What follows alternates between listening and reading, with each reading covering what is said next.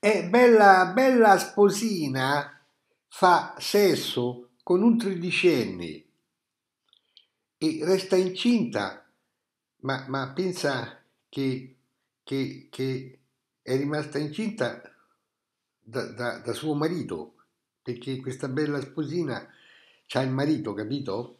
Allora faceva le cose con, sia col marito che col tredicenne.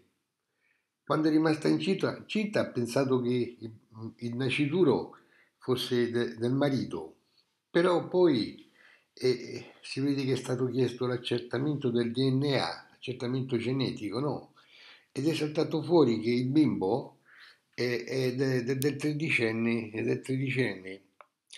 Io l'articolo l'ho letto e l'articolo ve lo metto come link nel riassunto di questo video. Eh, peccato che non si conosce, non si conosce eh, come stanno le cose sul piano alimentare, cioè eh, chi è che lo mantiene il bimbo? Eh, perché la mamma non credo che possa mantenere il bimbo da sola, cioè, e il bimbo deve essere mantenuto sia dalla mamma che dal babbo, il babbo. E adesso ci penseranno gli avvocati e vedete, cari, cari, amici, che cosa succede? Cosa succede? E siamo in patriarcato, e io ne parlo di questa, di, del patriarcato in questa mia opera storico-mitologica, eh.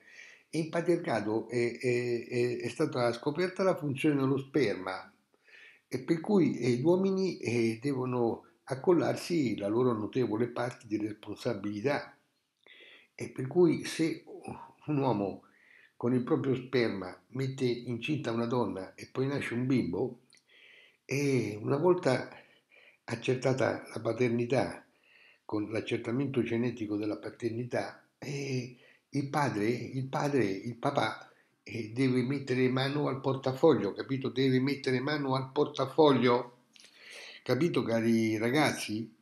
Sì, quando un, un boy o un man mette il proprio sperma dentro il ventre, dentro la fessurina di una girl, di una lady, e poi nasce un bimbo, il boy, il boy o il man che ha contribuito a far nascere il bimbo poi deve mettere in mano il portafoglio e deve mettere in mano il portafoglio per tutta la vita.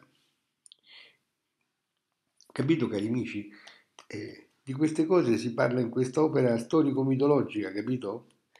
In quest'opera storico-mitologica si spiega quello che è successo quando l'umanità scopre eh, la funzione dello sperma. Per cui ora tutti in libreria a comprare una copia di questa apprezzata opera storico-mitologica. A tutti tanti cari saluti da Serafino Massoni.